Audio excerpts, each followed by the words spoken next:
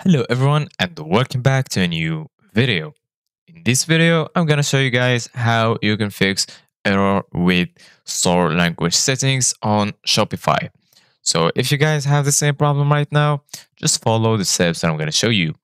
So as you can see guys, here we are in Reddit where I found some informations that could be helpful for this problem. So as you can see guys, here a guys a, a guy who's trying to sell his store in Spanish as well as English. So I used to the translate and adapt app to auto translate everything to Spanish. However, it seems like the color and variant options that just disappear when you put the store in Spanish. I don't know if it is due uh, with the app I use, which is GLO Colors and swatches. Any help would be much appreciated. Thanks.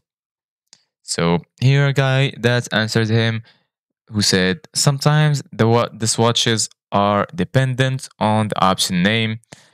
Translation can change the name and break the swatches color, color etc. dependent on app. It may allow you to enter option names to recognize and show swatches on. Another guy suggested that he can go to this link and choose which app is right for his store. So this link can take you to the categories uh, to see uh, the designs and the colors.